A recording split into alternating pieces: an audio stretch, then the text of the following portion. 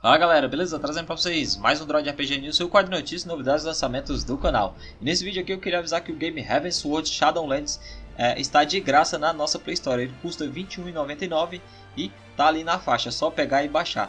Ele é um game que posso dizer que mais se aproxima assim de um The Elder Scrolls para mobile.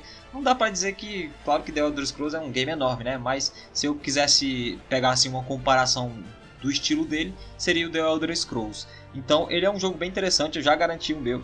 É, e com certeza vale a pena. Deixa eu falar aqui algumas características dele. Você tem um mundo aberto enorme para você estar tá explorando. É uma tonelada de bichos aí para estar tá enfrentando e quests para estar tá fazendo. Montarias é, como cavalos, montarias voadoras.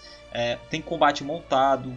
Tem a decisão dele é, das quests é, é baseada em multipartes, então você pode estar escolhendo é, o caminho que quer tomar na quest.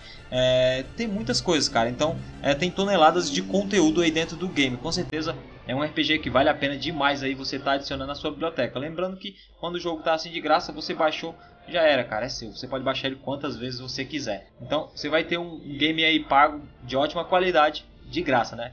Então, lembrando que eu vou estar deixando o link do jogo aí na descrição. E se você gostou desse Droid RPG News, deixa aquele like, compartilha esse vídeo, deixe seus comentários, porque aqui você ganha muito mais XP.